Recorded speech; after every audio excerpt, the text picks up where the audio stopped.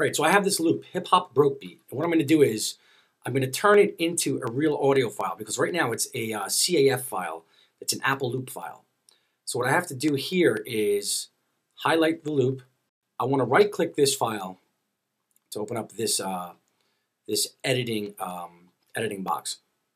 And I want to go down here to convert to new audio file. All right, so I'm going to save this. Um, right in the same folder that I'm working in. It's hip hop broke beat. I'm going to change the file format to AIF. Everything else I'm going to leave, leave the same. Press save. And now the same loop in an AF, AIF, excuse me, AIF file is in my um, in my bin. So now I'm going to drag that into this arrange arrange window. I'm going to mute the uh, Apple loop file, and I'm going to work from the audio file now. Okay, now what I need to do is I need to split this up into separate regions so we can make separate samples to bring into our EXS uh, 24 sampler. So I click on this, on this file, and I go right up here to audio. Now I hit the strip silence function.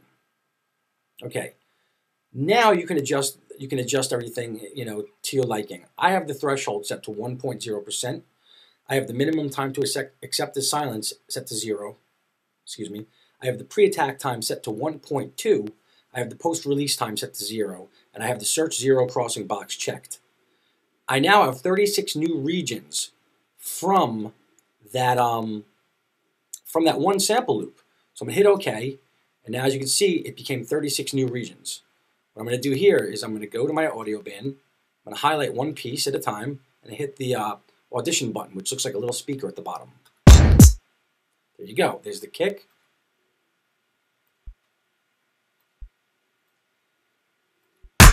There's a clap.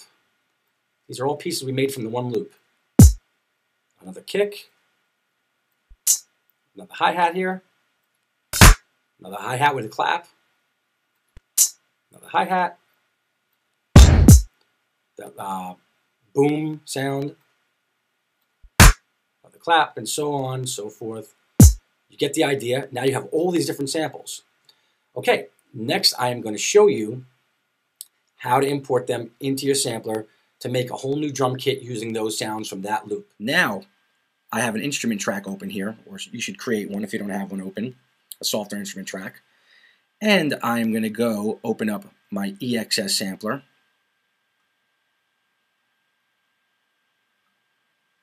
What I'm going to do is I'm going to hit the edit button,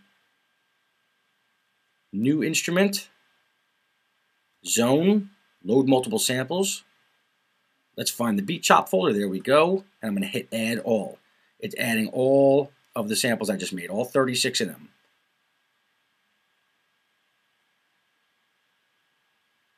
Hit contiguous zones, zone with one, hit OK. There we go. Now you'll see, here they are. Here are the different chops. They're all on each key. Ready to go.